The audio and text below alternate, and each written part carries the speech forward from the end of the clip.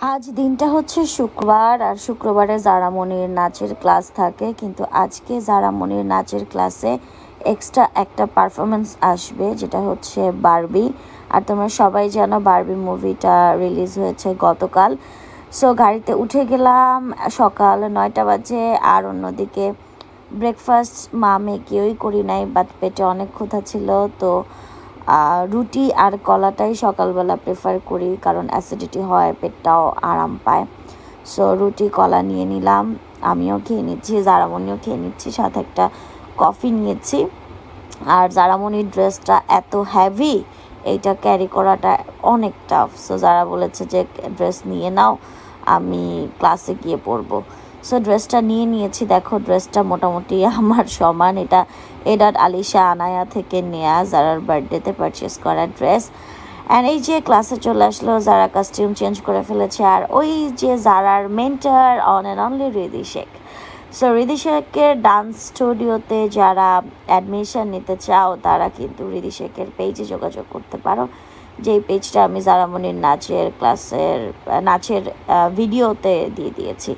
আর এখানে জারার শ্যুট চলছিল উইথ রিদি অ্যান্ড ওরা বেশ ভালো লাগছে আমার দুইটা ডল একসাথে।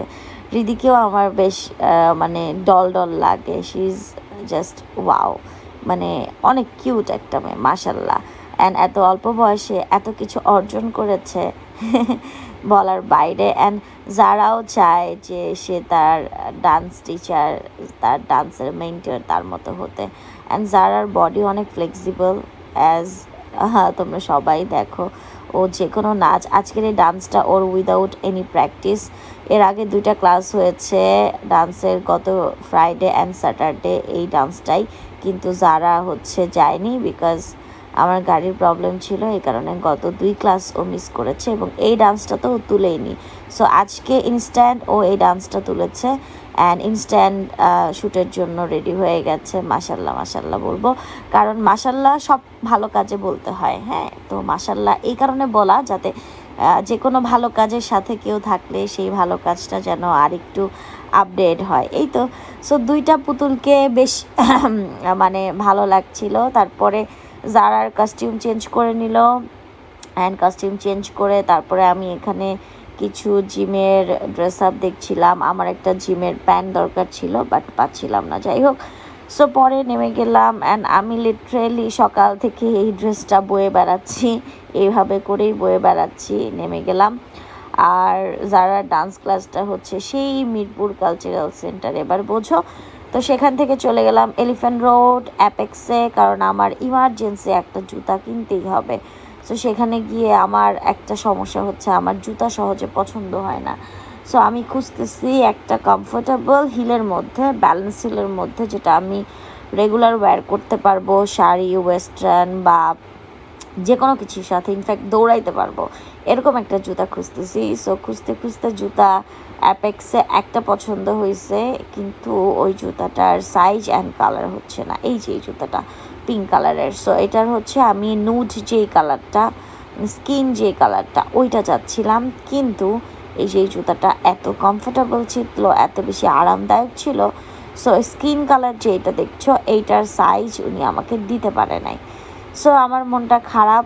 শেষমেশ জুতাটা পরে এত আরাম লাগল অ্যান্ড কমফোর্টেবল ছিল হিল ছিল।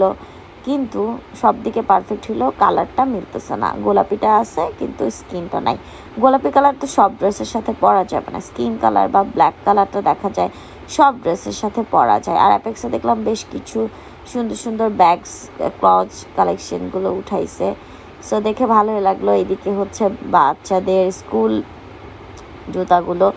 এগুলো বেশ সুন্দর। তারপর অ্যাপেক্সে ওই জুতাটা না পেয়ে মনের কষ্টে, দুঃখে, যন্ত্রণায় অ্যাপেক্স থেকে বের হয়ে তারপরে চলে গেলাম বাটাতে। মানে বাটা সিগনালেই এলিফ্যান্ট রোডের বাটাতে। আচ্ছা এই চটিটাও আমার খুব ভালো লাগছে, বাট এই ধরনের চটি আমি আড়ং থেকে অনেকগুলো নিয়েছি, so I don't think so যে হুদাই টাকা নষ্ট করার কোনো মানে আছে। তারপরে চলে গেলাম বাটাতে অ্যান্ড বাটাতে কোনো জুতাই ভাই পছন্দ হয় না। এদিক হয় তো ওদিক হয় না। মানে এই জুতাটা এত সুন্দর, কিন্তু হিলটা সুন্দর না। এই জুতাটা রেগুলার ওয়্যারের জন্য একেবারেই না। মানে এগুলো চলে, এগুলো তুমি পার্টি শার্টিতে পরতে পারো বাট আমি চাচ্ছি রেগুলার পরার মতো একটা জুতা। আর জারামনির পা, আমার পা একদম সেম আমি যে জুতাটা এখন পরে আছি, এটা আরং থেকে জারামনির জন্য নিয়েছিলাম বাট আমারও হয়ে যায়। এই জুতাটা আমার ভালো লাগছে, কিন্তু জুতাটা কমফোর্টেবল না। মানে ওরকম কমফোর্টেবল না যেরকম আমি চাচ্ছি। সেই ব্ল্যাক জুতাটাও ভালো লাগছে লুকটা সুন্দর। তারপরে এই দুইটা জুতা, ভাই রে ভাই। এই আরেকটা জুতা, এই জুতার ঘটনা বলতেছি, দাঁড়াও। সো এই দুইটা জুতা দুই পায়ে পরে নিছি।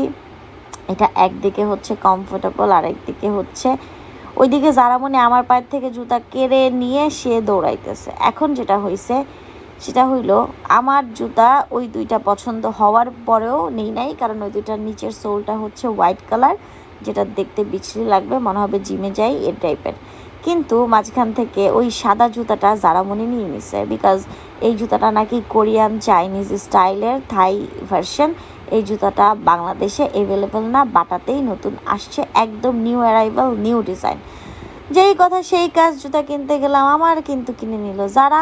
তারপরে বাটার ঠিক উল্টা পাশে সাকুরা নামে একটা দোকান আছে, সেই দোকানে গিয়ে অনেক খুঁজে টুজে একটা জুতা আমার পছন্দ হয়েছে। আমার অবস্থা খুবই খারাপ, কারণ সকাল সকাল উঠে এত কিছু করতে হয়েছে আর পেটে প্রচণ্ড ক্ষুধা ছিল। তারপরে যারা বলল আমি বিএফসি খাব, তারপর এলিফ্যান্ট রোড থেকে বিএফসি খুঁজতে খুঁজতে চলে গেলাম বেলি রোড বিএফসিতে খাওয়া দাওয়া শেষ করে তারপরে দুজন মিলে বাসায় চলে আসলাম। আর এই ছিল আমার আজকের ফ্রাইডের জার্নি তারপর বাসায় এসে ফ্রেশ ট্রেশ হয়ে লাইফের জন্য রেডি হয়ে গেলাম। এভাবে করে প্রতিটা দিন চলে যাচ্ছে, চলে যায়। Thank you